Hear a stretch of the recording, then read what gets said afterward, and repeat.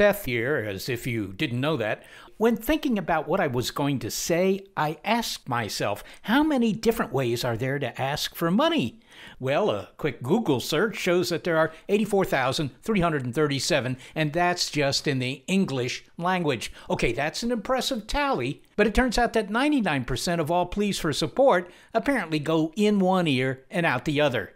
Well, I don't believe that. Your ears are not connected by tubing running through your skull, unless you've been careless with sharp sticks. So I'm going to assume that Big Picture Science listeners will understand the importance of supporting the show and respond at a rate higher than 1%. It's simple. Just go to bigpicturescience.org and mouse click the Support the Show button. Bigpicturescience.org and take that stick out of your ear.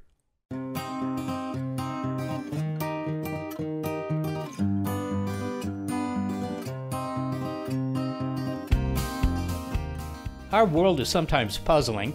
It's even more so when the government works to discredit the expertise of one of its own public health officials in the midst of a pandemic. Dr. Anthony Fauci, however, took the recent public undermining of his credibility in stride. You know, it, it is a bit bizarre. I don't really fully understand it. You know, I think if you talk to reasonable people in the White House, they realize that was a major mistake on their part because it doesn't do anything but reflect poorly on them. What's going on here? Sure, it's politics, but is it more than that?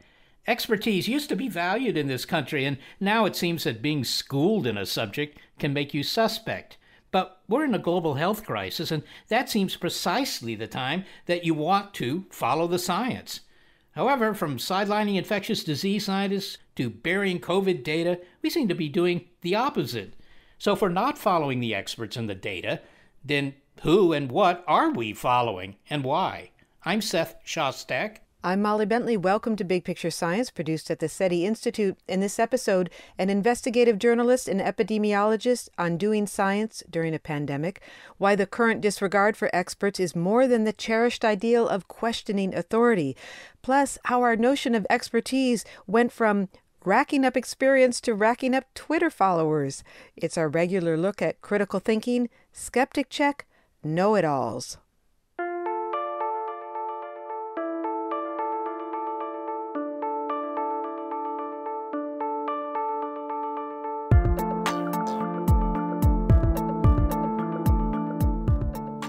Even before the pandemic unfolded, the current administration's relationship with science was chilly. They diminished the role of science in policy, they shut down peer reviewed government studies, and often challenged findings related to the environment. Here's one that stuck with us, actually. It even disbanded a government committee that was working on a defense against invasive insects. Maybe the murder hornets got that memo. The disregard for scientific expertise seems pervasive, but at a time when our global health crisis demands it, Instead, we're hearing reports that President Trump is no longer talking to Anthony Fauci, or as one commentator put it, the pandemic is still around, Dr. Fauci is not. More than ignoring him, the White House is actively and publicly rebuking him. An op ed written by a member of the administration railed against the competence of Dr. Fauci with such detail, it's hard to call it anything but a smear campaign. His colleagues in the public health field are reacting with dismay. Well, it is disheartening to see a hero like Tony Fauci be undermined. He's someone that I admired since I was a kid in San Francisco, which was hard hit early on by the HIV epidemic. I never imagined that I would ever see an attempt to discredit him from the very administration that should be working with him as a cohesive team. The question for us is not why the administration would discredit their own infectious disease expert. We leave that to the political analysts. But what do we lose when Washington turns away from science expertise in the face of a pandemic or when it limits the tools of science?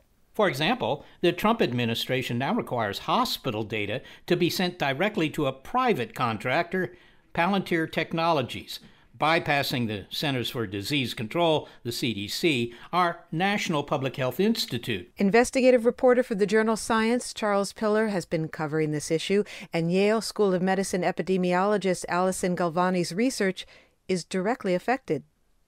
Well, it's clear that President Trump does not want to make evidence based decisions. This is an extraordinary moment because the outpouring of support for Fauci is near universal in public health and epidemiology communities. It reflects that there's a kind of uniformity of belief that taking scientific epidemiological issues and converting them for political purposes uh, that that is not just counterproductive but it's deeply harmful to how public health can be encouraged and enhanced in the pandemic. Alison, the president has dismissed the CDC's guidelines for reopening schools. You're an epidemiologist. You said that children should not return to school given the current state of the pandemic. So it sounds like your advice is about 180 degrees away from that of the administration. I, yeah, I agree with that characterization. If anything, in my opinion, the CDC guidance doesn't go far enough. And if the Trump administration is declaring that uh, those recommendations to be too hard to be implemented in order to allow children to come back to school, then I think we have to conclude that we cannot safely have children go back to school. So the CDC has the experience and the expertise for analyzing outbreak data and for making those kinds of data driven recommendations to stem transmission. I think um, probably another great example to bring up is the recent conversion of the data gathering process for COVID 19 from hospitals and states from CDC to a new platform at the Health and Human Services Department that is privately gathered, privately managed, privately analyzed data. This has been uh, a very important change because it's thrown into disruption the key way in which epidemiologists, states, and others are able to gauge what's happening with the pandemic, not just in their localities, but also nationally. And what has happened in this conversion, which was imposed sort of in, a, in an abrupt and seemingly arbitrary way, is that data is lost in the bargain. And there's been no, a number of key elements of that data that is no longer available to epidemiologists to analyze the state of the pandemic and the state of the needs of hospitals all over the country. So, how do you feel about that, Alison? That this diversion of data and possibly making it less accessible or perhaps less complete, how does that affect the ability of scientists to fight this thing? It does uh, hamper our ability. Um, we rely on the publicly available CDC data to project the temporal trajectory of the outbreak and to suggest what are effective interventions for reducing transmission. So without that data, we're handicapped in being able to make evidence-based recommendations. But is that really true? Or is that just, you know, a kind of a reaction to to what they're doing? I mean, is it legitimately hampering research? It is. I mean, data driven research, it, it is hampered by by the CDC not being able to, as Charles mentioned, fill in the gaps and to analyze the data and, and go through it and present something that really makes sense. I think what this reflects again is this combination of a rejection of the bedrock principles of science as a, a guide for how to manage the pandemic. And second, a privatization of the data process that most, I think, leading epidemiologists have regarded as not just counterproductive, but potentially disastrous going forward. Just to give you an example, more than 100 public health and medical organizations have written to the government pleading with them to reverse course to support the CDC as, as the, the entity that gathers and analyzes the data more fully. So, Alison, as a researcher, how do you work around this? Well, we've been looking at state specific releases of data. And we are able, we think, to compile most of the data, but it's much more time consuming than when we could look at a comprehensive data source that the CDC compiled. So, so what you're saying is that uh, somebody's pulled on the uh, on the handbrake, but the car's still moving forward yes, the car's still moving forward, but at a much more uh, expensive manner. Again, I agree with what Alison's saying about this. And I wanted to add that epidemiologists with whom I've spoken have been seeking more granular data better data that can help them understand with great precision local outbreaks. And the reason for this is that resources need to be directed to the areas of greatest need. For example, uh, in New York, they were able to use very precisely targeted outreach in order to dramatically reduce cases and deaths from their peak in April. And the way they were able to do this was by knowing how that data interacts with the population, how it's produced, and to be able to go in, swoop in with services, testing, and even things like uh, offers of housing for people that have difficulty isolating in their households. So these are the kind of measures that better data, more data can help. And we just don't see that, not from the states, and really, honestly, not sufficiently from the CDC, even when they were doing this work. Charles, so what kind of data is no longer easily available that uh, formerly went to the CDC? Well, let me give you one example that was cited by a data scientist. In the CDC site, it was possible to tease out week by week comparisons of the entire country's COVID caseload by age group in a very easy to understand and clear way. Now, those data, because they're not presented in the same format and because some elements of them are missing, it's almost impossible to do that. Alison, I assume that uh, you would echo those sentiments? Absolutely. I think Charles gave a very uh, illuminating example.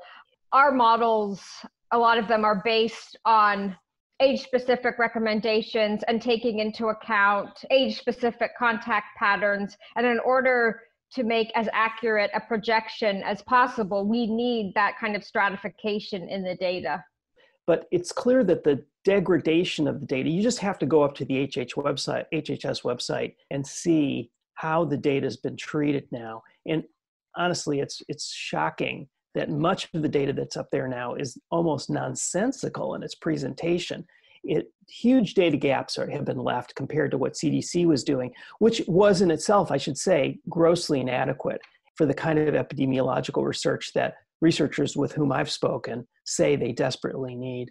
All right. So this simple question, but uh, just to sort of summarize the the potential danger, the actual dangers here, can you both remind us, with beginning with you, Charles, why it's not a good idea to berate your top health experts when you got a pandemic ravaging the country?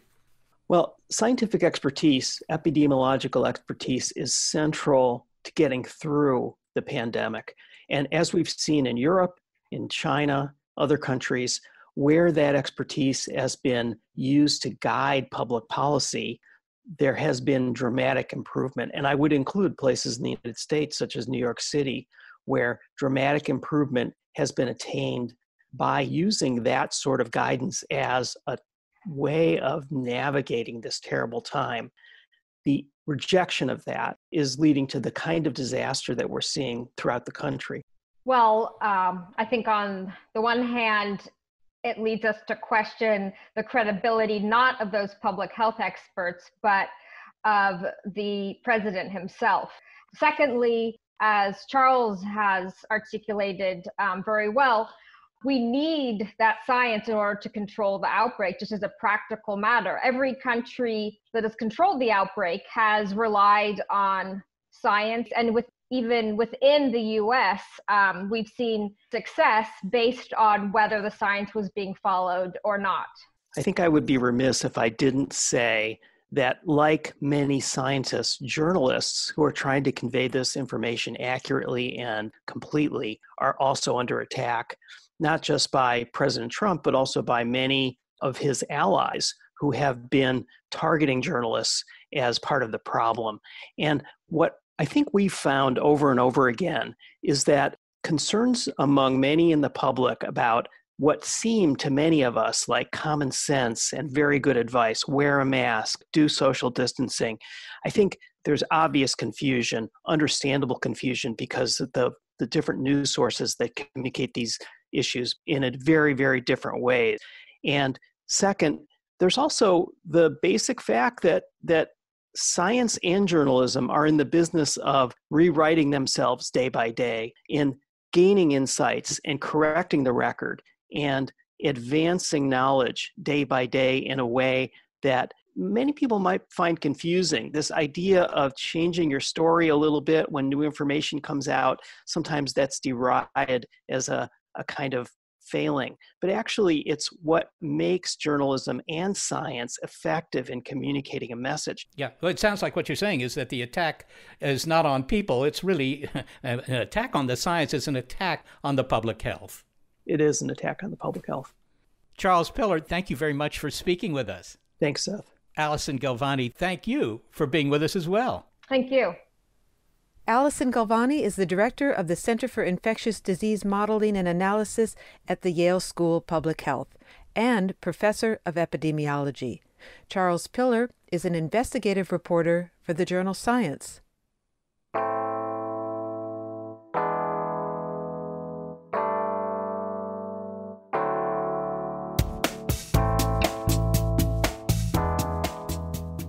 Well, who needs a PhD or an MD to inform your science pronouncements when you can have a well honed personal gut feeling? How did we get to this point where people who don't have any background in a subject hold their hand up and say, Let me explain the subject to you, to the expert? Is it that we question the experts or that we think our own know how is sufficient?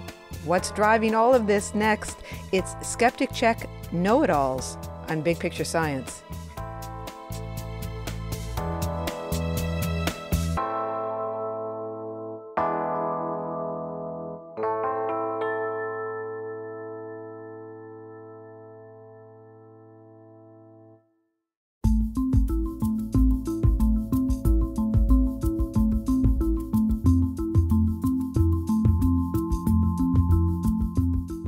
So here we are in the middle of a pandemic, and science and scientists are being frequently ignored when their input is literally a matter of life and death. So, whom are we listening to instead? Perhaps this is part of a larger, peculiar American trend because it isn't just epidemiologists and other medical types who are being challenged, as Tom Nichols discovered. Well, first, you have to understand my background, which is that I am a longtime expert in Russian affairs over 30 years. I speak Russian. I've been to Russia many times. I've written several books about Russia. And he was having a conversation with a man who didn't have a background in Russian affairs. And this person said to me, Tom, I don't think you really understand Russia. Let me explain Russia to you. That's when I said, you know, it's one thing to say, I'd like more information, or I'd like to hear more from you about this, or I don't quite trust your view and I want to explore that.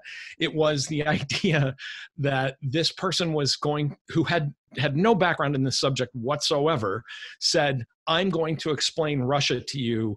That's when I decided that maybe it was time to start writing about this that something terrible had gone wrong in our society. It prompted him to write an article, The Death of Expertise, for The Federalist, a conservative online magazine. Now, you could say he took the encounter with a non Russian expert personally, fair enough. But then Dr. Nichols' article was so widely shared, he soon had an outpouring of anecdotes from other professionals. It happens in every walk of life, not just professions, but the trades. I've heard similar stories from plumbers, electricians, painters, people that have a lot of experience and a lot of expertise in you know building a house and someone walks up to them and says hey let me explain to you about what kind of wood you're using there. I, I have some views on this because i read a magazine article once and it has really gotten out of control. I mean it is a we are in a society where we lecture each other all day long about things that we don't know anything about. And his remedy in the moment when it happens may not be yours, but here's one expert's opinion on what to do if expertise is questioned. But I've been telling experts if someone says, you know, Seth, you're you're an astrophysicist kind of guy. You know, people say, well, you know, how do I know the earth isn't flat? We're trained as teachers to say, that's very interesting. Let's unpack that together. Okay, I understand your point. You know, and I think that people ought to just say, just stop. The earth isn't flat we're not starting from zero here. We weren't all just born yesterday. The earth is round. If you don't accept that, then we can't have this conversation. well, all right. I like his muscular reply there. I, am I'm going to use that sometime. He expanded his ideas into a book, The Death of Expertise The Campaign Against Established Knowledge and Why It Matters. It explores our stubbornness, or maybe it's arrogance, to admit we might be ignorant about a subject and, and should defer to someone else. I asked Dr. Nichols whether the long-standing American distrust of expertise is perhaps enjoying a bit of a resurgence. And he surprised me by saying that, well, that's not exactly what's happening. Okay, I'll admit my ignorance on this. It's not so much that we question authority, Dr. Nichols says, but that we're comfortable reading up on a topic for a few minutes and then anointing ourselves as experts. Well, I knew that the public was um, going through this long period that I think began about 40 years ago of a narcissistic rejection of expertise. I think that these two things go hand in hand. But I had always been confident that in the face of a genuine national emergency, that people would kind of snap out of this lethargy and say, all right, well, we actually have to do what the experts, you know, recommend that we do. And I just didn't imagine that expertise would become this kind of crazy partisan uh, food fight that it's turned into.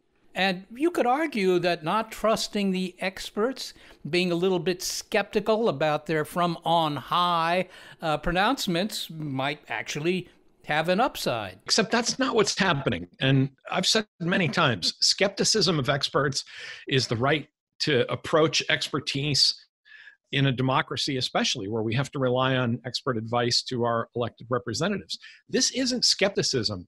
This is people thinking that they actually know more than epidemiologists. And it's perfectly legitimate to say, what kind of assumptions are we working from here? What sort of things, you know, went into you constructing this model? It's another thing entirely to say to somebody like Dr. Fauci, you know, to an epidemiologist, uh, let me explain to you how epidemics work. But is this, I mean, in a, in a larger sense, is this really a rebellion against expertise or simply a split along party lines that this is, this is politics, this is an, an indictment of expertise? Um, no, it is a rebellion of expertise, and it's been going for a good 30 or 40 years. This is really the final stage of a growing narcissism not just the American public, but of the publics in technologically advanced Western societies, where the public has come to believe that most things in life are easy to do. Um, how hard can it be to send an email? You just write it and you hit send. How hard can it be to, you know, fly an airplane? Um, you know, they I mean, literally, people who have made the argument that because I know Microsoft Flight Simulator, I can fly an airplane. You know, how hard can it be to diagnose a disease? And I think that that long predates this current emergency. So this is this is not just some partisan blowup. This is the partisan division we're having over the COVID epidemic now is it's a um, symptom of the problem, not not a cause you make the case that the backlash against expertise has been aided by the government and the media. Maybe you could explain that to me. I think part of the problem with the media is not that the media in any one area has made a mistake, although I think the particular role of conservative media during the pandemic has been really shameful. Um, but I think the problem is that there's just so much media audiences are always surprised when I tell them that the evening news, and, and Seth, you and I are old enough to remember this, the evening news used to be 28 minutes. To say that you watched the news meant that you actually paid attention for 20 minutes or 25 minutes. Now, there are so many news outlets, and it is indistinguishable during most of those hours from entertainment that people are taking in a lot more news, but they're actually a lot less informed than they used to be the generation of people in the 60s and 70s who watched a half hour of news were actually much better informed than people are today because they actually paid attention to those um, news broadcasts. What about the influence of the fact that the news back then was curated? It was, it was, you know, read to you by a professional reader, perhaps, but that reader was often a journalist, and the journalism was curated. I mean, it wasn't what you find on the internet. I mean, it's maybe too easy to blame the internet for uh, the lack of respect for, if you will, expertise, but surely it plays a big role today you know younger listeners will probably recoil at that word curated because when they hear it they think of gatekeepers. They think of old white guys like us publishing other old white guys like us. I mean you go back to the 1960s and 70s and the news was three old guys in new york reading corporate curated news you know created or written by other old white guys. So there there's a legitimate um, complaint about that and i think we live in a better world where the news has uh, where there's greater diversity in the people who make and report the news. But with that said, I am completely with you about this problem of curation. Um, younger people in particular don't understand that information does not exist independently of the people who create it. Um, this is particularly true when it comes to the internet. As students will often say to me, they say, Well, you know, professor, the internet's just a big library. And I'm like, No, libraries have librarians. You know, the internet is a dumpster. Uh, sometimes dumpster diving, you can find a filet mignon, but mostly what you find is garbage.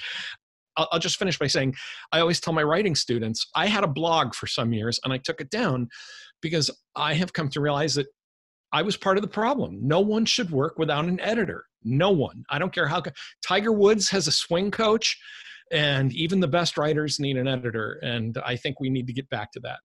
Tom, I'd like to step back a little bit, uh, give this a slightly more international perspective. I lived in Europe for uh, for quite a while, 13 years, and I was uh, certainly aware that Europeans treated members of academe a little differently than they are treated in the United States. My junk mail had all sorts of titularization in front of my name. So I think it's maybe a generalization, but a fair one, that America's attitude to the learned has always been somewhat less than reverential. Is that because of our greater distrust of authority, our pioneer past? Yeah, I think some of it comes from our um, kind of hyper egalitarian culture that you can go all the way back to Tocqueville. We're not a country that likes, you know, as you say, all these titular kind of doctor, professor, um, you know, I always get a kick out of it when I fly foreign airlines and they'll send me, you know, email to Professor, Doctor, Mister, you know, and I, I actually like that about America. America is where, you know, anybody can grow up and get a PhD and, you know, become an expert on something.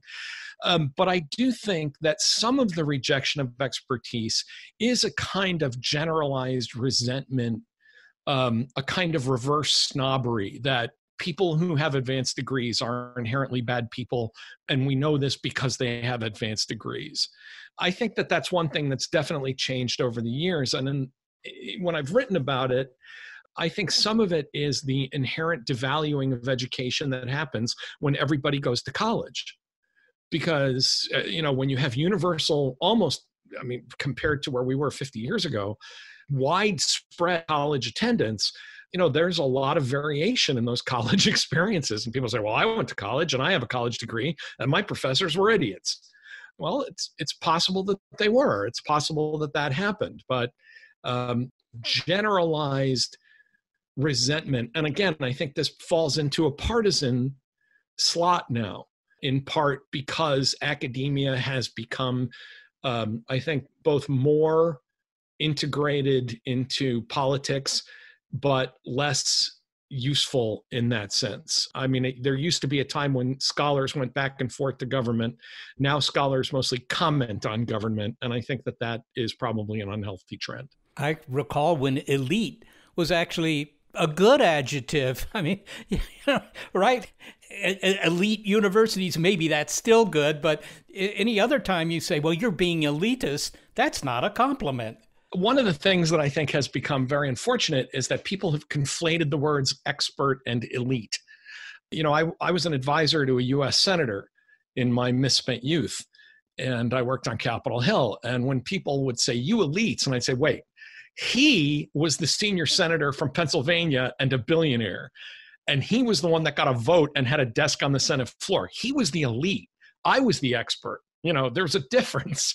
Um, but if, if you look at me and a wealthy us senator and say you are both alike that tells you something about the current state of you know the way people think about politics in the united states. What about the fact that many people do not really understand how science works? That if a scientist gets something wrong then suddenly i don't have to listen to you anymore scientist because you got something wrong we gotcha. This is this has caused a really unpleasant dynamic between experts and the public.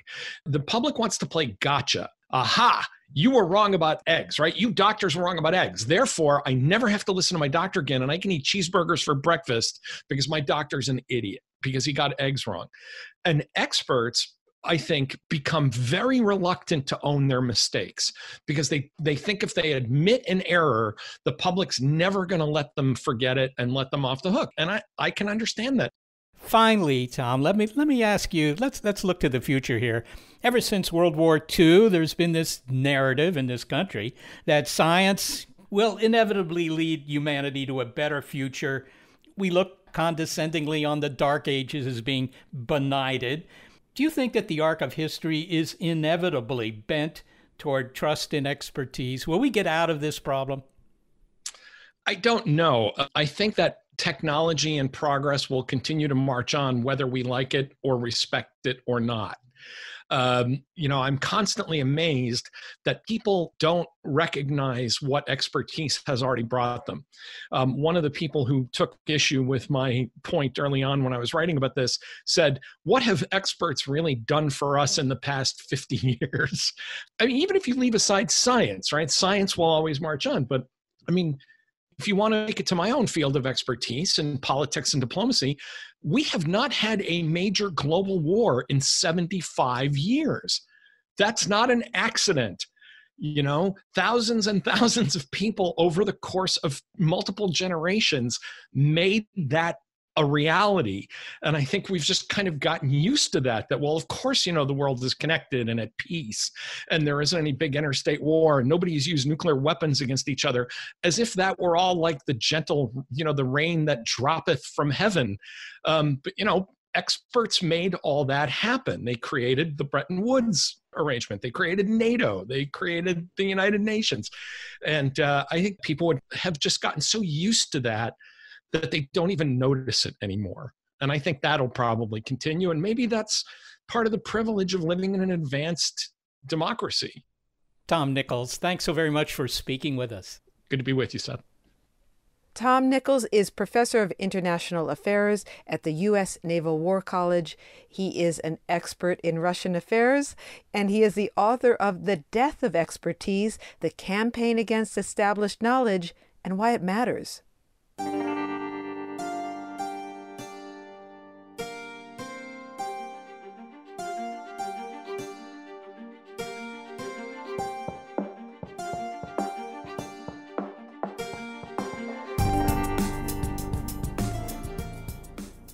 Next, how would one of your ancestors have picked out the wisest person in the community?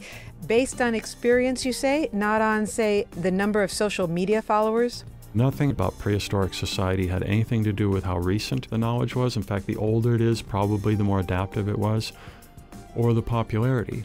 How our vetting process for expertise has radically changed. Next, it's Skeptic Check Know It Alls on Big Picture Science.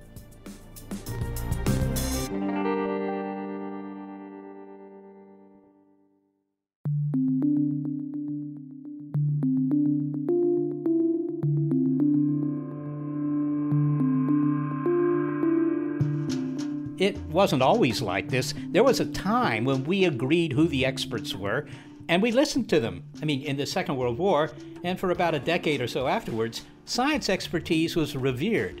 But now, well, never mind the PhDs, the MDs, the sheepskin on the wall, the years devoted to field work or spent in hospital residencies. The metric for whether I'll listen to your counsel is exactly how many followers do you have on social media? We have explicit popularity statistics associated with almost everything we do. How many Twitter followers? How many retweets of, of, this tweet? How many downloads of this song? Everything you look at, almost the principal datum point that you look at is its popularity, not how good it is. And you have no idea whether that person sharing is an expert or not. Alex Bentley is an anthropologist, and since he is my brother, I can vouch for his expertise in cultural evolution, first as the head of archaeology and anthropology at the University of Bristol in the UK, and now at the Department of Anthropology at the University of Tennessee. He writes about how websites, social media, and algorithms have devastated curated information sources and replaced them with expertise that we rate not on the basis of their accuracy, but on the basis of our clicks. In his book, the acceleration of cultural change from ancestors to algorithms, Dr. Bentley compares how we used to identify our experts way back when to how we do so now, and how our obsession with novelty has helped undermine our appreciation of real know how. Okay, he starts with our ancestors, so our first question is a broad one. How did our ancestors make decisions? It's also a loaded question because, um, in, in some ways, we didn't make decisions. The culture made decisions for us on an intergenerational time basis. So, let's say we're talking about 7,000 years ago in a Neolithic village somewhere. Most of what what you did, what people in your kinship group did, were all learned from the previous generation and with almost no difference from uh, the previous generation. But the decisions, if we want to call them that, those are the changes in the learned practices and habits that would happen over many generations. Let's give an example, if you could give an example of something that would have been passed down and that would have stayed more or less intact for millennia. Yeah. What's an example? Uh, well, there's just about everything um, from prehistory. So um, I'm an archaeologist, and um, one of the best examples most archaeologists know about is the uh, it's called the Acheulean hand axe, and it was actually used by Homo um, erectus. It would have been chipped out of flint or chert, and it's about the size of your hand, and you could use it for digging or uh, scraping a hide or all sorts of things. And some uh, Homo erectus would have carried it next to the body probably for much of the day, um, and it persists the oldest one is about one, 1.4 million years ago, and it persists to um, a few hundred thousand years ago. Uh, almost unchanged. It was like a Swiss Army knife of, um, of ancient hominins. And one of the things that I wanted to get across in the book is that the notion of change in technology or change in culture is something that's entirely modern. It just would have been uh, totally alien to people in, the, in prehistory. I want to ask you about the title of your book, The Acceleration of Cultural Change. And, and what does that mean to you, that the pace of cultural change has picked up? And, and what do you mean by accelerate? Um, it's accelerated. So if you look at, say, the imagine a graph of how many um, different tool types people had a million years ago to um, literally hundreds of thousands of choices in a single Walmart. And that curve would be flat just about for the first 0.99% of our, our evolution. And then suddenly it just looks like it just stands on end and just heads straight up like a rocket. But the other aspect of the, the, the meaning of acceleration is that we went from a, um, a vertical kind of transmission where we learn from ancestors, our parents, but whose knowledge that stretches back through the generations to ancestors who were it's a deep knowledge because it goes back so far in time, and it's also a fairly narrow knowledge because it's restricted to our local community, local environment. And now we have a very a kind of a very shallow yesterday's news kind of knowledge that is also global and not restricted to any particular environment. And nowadays, every so much is learned horizontally. Another what's, what's an example of that? Any story that you shared on social media today that's horizontal. And you're not teaching it to your child over a period of 12 years while that child grows up. So, um, in, in our field, we friends of mine do experiments called transmission chains. They're, they're like a game of telephone where you have somebody uh, read a passage like a um, maybe it's a story of cats and Oreo cookies and and how they they they took to the Oreo cookies like cocaine that I might be. I would love to hear this story about cats and Oreo cookies, but go on. that that was like a uh, so that's like a news story from ten years ago or twenty years ago. Okay. And then so I read that and then I put it down and then I remember what I can from that story and you probably already remember the Oreos and the cocaine and you'll write something the cats ate the Oreos it, it tasted like cocaine to them. But just now I introduced a couple of changes to it. A couple of those elements stay with the story as I pass it on and it'll probably if we passed it around a chain of eight, 16 people. At the other end, it might the story might have taken on a totally different plot, but I'll bet you the Oreos and the word cocaine would still be there in cats. Those we call those attractors.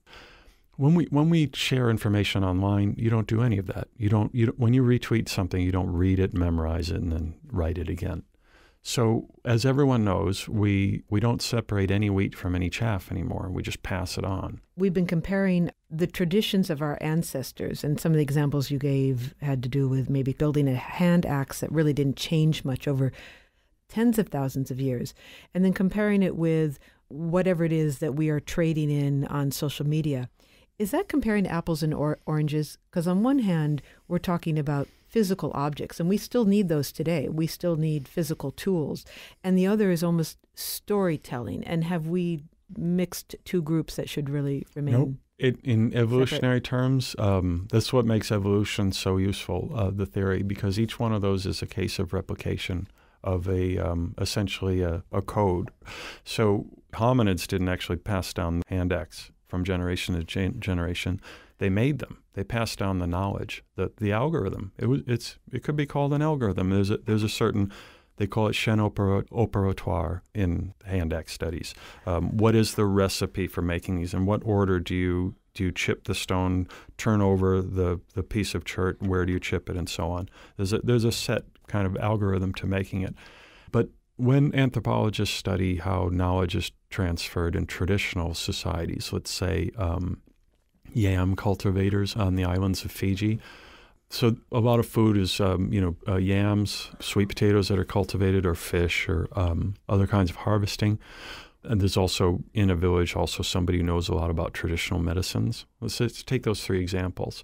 You ask anyone in the village, they'll know who the best uh, hunter is and they'll all point to probably the same person, the same two people. They'll all know who the best yam cultivator is, or the, and that'll be somebody different. They'll all know who the best fisher person is, and they'll all know who knows everything about, about traditional medicine and, and the medicinal values of plants. And those those networks all point straight away to the expert in the community. And now we explicitly we, we have explicit popularity statistics associated with almost everything we do how many Twitter followers, how many retweets of this of this tweet, how many downloads of this song. Everything you look at, almost the principal datum point that you look at is its popularity, not how good it is, and you have no idea whether that person sharing is an expert or not. And this um, is the algorithm part of your book. Uh, so from ancestors, we talked about the ancestors, but now you're talking about how the algorithms are driving the popularity. Is that yeah. Is that right? And so I know that, uh, you know, social media algorithms are evolving quickly, but they're still basically premised on, on prioritizing recency and popularity. And nothing I've just said about prehistoric society had anything to do with how recent the knowledge was. In fact, the older it is, probably the more adaptive it was, or the popularity. It had to do with um, the expertise of this person that was teaching you, and that probably, if it was a skill like like building a bow and arrow, it would have taken maybe many years to learn that skill, or or it wasn't. It was neither popular nor recent, and now those are the two things that we primarily direct our attention to. Who's doing the deciding at this point? You said that there was a there were no deciders in our ancestral life. There was kind of a group consensus born out over the usefulness of the knowledge, its adaptive value. Is that the same case now? I, I get the sense that the adaptive value is not so relevant right now, but there's some machine, or at least somebody is deciding for us what we even call culture now. Yeah, that's a good question. Some some people see, you know, almost they almost see individuals at the center of this process, like the CEOs of social media companies and so on. And I do have some computer scientist colleagues who worry about that. But I actually think the decider is just evolution. It's a different evolutionary process now, one that where the biases of evolution are now towards what is recent, what is popular. And that encourages a, a kind of evolutionary process that's always been there, but has never been so strong, which is called random drift. So what we what we see and what you'll be conscious of is that what we're all focusing on our attention on in a certain day just seems to feel random. That's that's random drift. That's a process that will inevitably bring something to the surface. Something will win. Something will become like the mega subject that we're all that gets a hundred thousand views today. But there's there's not necessarily any utility to it. But isn't that a problem for a species? It sounds like that's maladaptive. Yeah, it is. And I mean, I don't want to get too speculative right now, but people are doing um, some maladaptive things like not getting immunized, for example. Um, and that's a case of misinformation coming to the surface and um, people believing it because it's popular and because others around them believe it. Um, and President Obama, in his, in his uh, farewell address in 2017, picked up on um, what many people have picked up on that, that we are siloing ourselves and um, just echoing the opinions of those around us. That's an evolutionary process. There's no, there's no sort of mastermind to that process. So we share things, and I think th- there are small, maybe there's small little um, endorphin bursts when you share something and somebody likes it. Th- that's an evolved capacity that used to do us good, but is is now being co-opted by technologies that that then cause our knowledge and our cultural information to drift in a kind of random genetic way. Imagine imagine how, how disastrous it would be if when you go to vote, the next time you go to vote, you could see how all the different candidates were trending at that moment instead of just voting for the person that you wanted to vote for. I hate to break this to you, oh, but that is happens. actually what's happening. Oh well, now. I don't get out much, so. um, but um, that process corrupts our ability to track quality. And it was a, there was an experiment uh, 15 years ago by Matt Salganik and Duncan Watts where they had uh, people download music. And when they downloaded music from, uh, let's say, a set of 50 songs, and they did it on their own, and they listened to the songs, and they they would generally sort of all agree on the top top five, and those would come to the top. They'd run the experiment with group, another new group of students, and still the same top five as soon as they let people observe what others were downloading, the whole thing just became unpredictable. Um, and you'd get a different winner in each run of the experiment, and with no correlation to what, what you would probably think the actual quality of the songs are, given people thinking individually. And this is what the whole wisdom of crowds premise is predicated on people thinking ind- individually about the about the problem or the challenge and not listening to or, or being influenced by others. As soon as you do that, you lose the wisdom of crowds. Why is that? Why are we driven by popularity? Why is it that I might choose what I think my favorite song is or my favorite candidate or whatever it might be, and then I'm influenced by the choice of my neighbor. If if I've made a decision based on my my interests, why would I care what my neighbor has picked out? Because the success of our species is based on cooperation all the way back to sharing food on the savannah uh, hundreds of thousands, if not millions of years ago.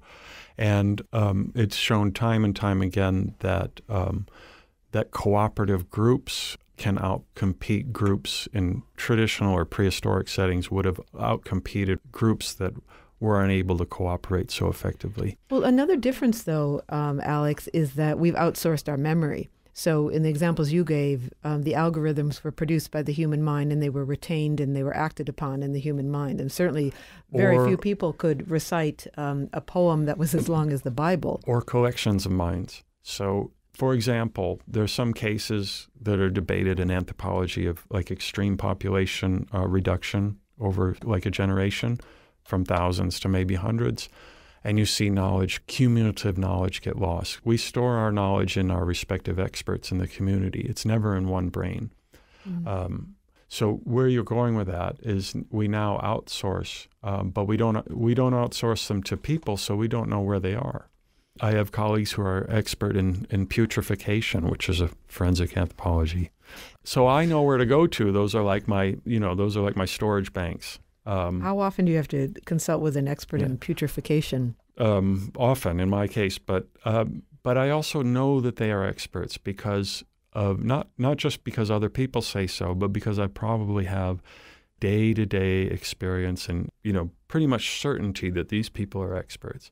But if I Google something and I get a sale on rubber tile, I don't know anything about the expertise of, of that information. And and if something is put into my social media feed I don't know where it came from, and I don't have that daily experience or, or certainly not the intergenerational experience, shall we call it, of my culture to vet that for me and tell me that it's expertise.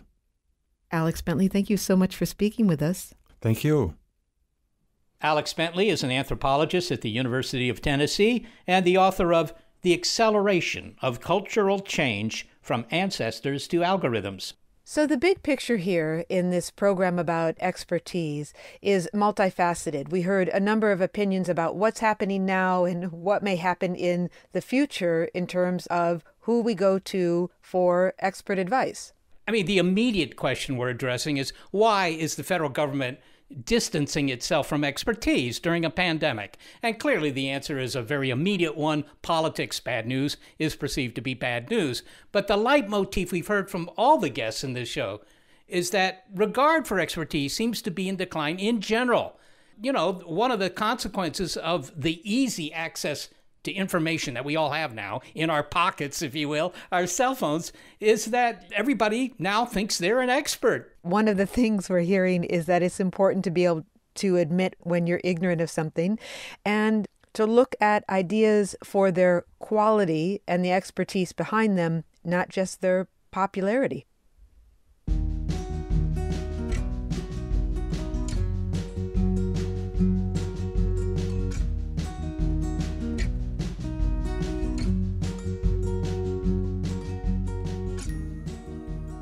Well, thank you to the expertise of senior producer Gary Niederhoff and assistant producer Sarah Derwin. We do not take their skill for granted. I am executive producer of Big Picture Science, Molly Bentley. Thanks also to financial support from Rena Shulsky David and Sammy David, and to the William K. Bowes Jr. Foundation. Big Picture Science is produced at the SETI Institute, a nonprofit education and research organization that supports critical thinking in matters of science. I'm the Institute's senior astronomer, Seth Shostak. Also, a big thanks to our listeners. This episode of Big Picture Science, one of our regular looks at critical thinking, is called Skeptic Check Know It Alls. If you'd like to hear more Big Picture Science, you'll find episodes in our archive at bigpicturescience.org, and you'll also find links there to the guests you've heard.